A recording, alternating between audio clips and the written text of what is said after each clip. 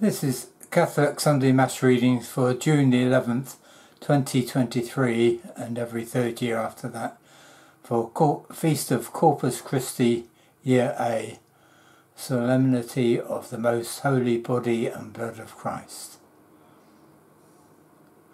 The first reading is from the book of Deuteronomy.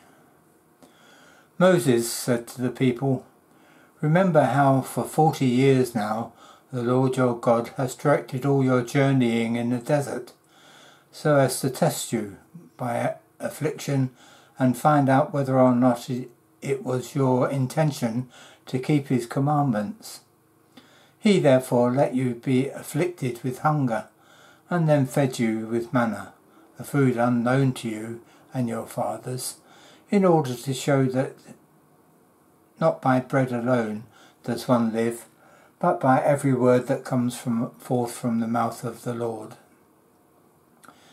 Do not forget the Lord your God, who brought you out of the land of Egypt, that place that place of slavery, who guided you through guided you through the vast and terrible desert with its seraph, serpents and scorpions, its parched and waterless ground, who brought forth water for you from the flinty rock, and fed you in the desert with manna, a food unknown to your fathers. The word of the Lord. The responsorial psalm is Psalm 147. Praise the Lord, Jerusalem. Glory to the Lord, O Jerusalem. Praise your God, O Zion, for he has strengthened the bars of your gates. He has blessed your children within you. Praise the Lord, Jerusalem. He has granted peace in your borders.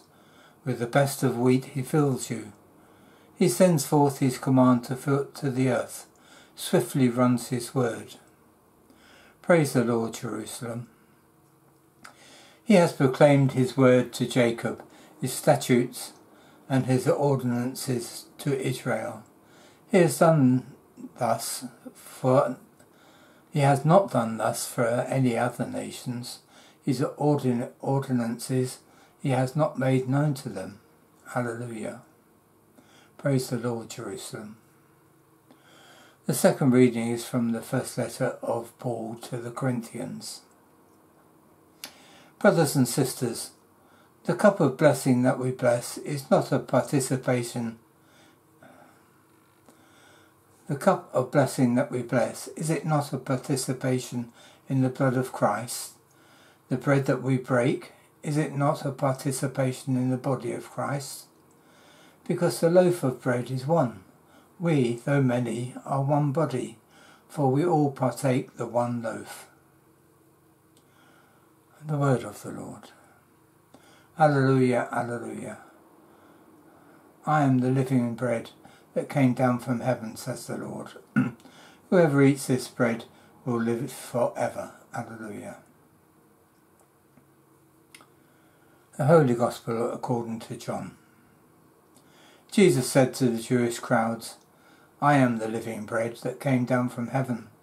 Whoever eats this bread will live forever, and the bread that I will give is my flesh for the life of the world. The Jews quarrelled among themselves, saying, how can this man give us his flesh to eat?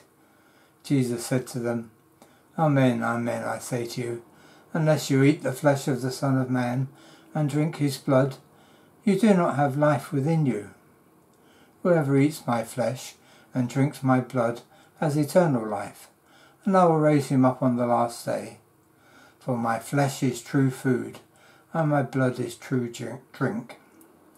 Whoever eats my flesh and drinks my blood remains in me, and I in him. Just as the living Father sent me, I have life because of the Father, so also the one who feeds on me will have life because of me.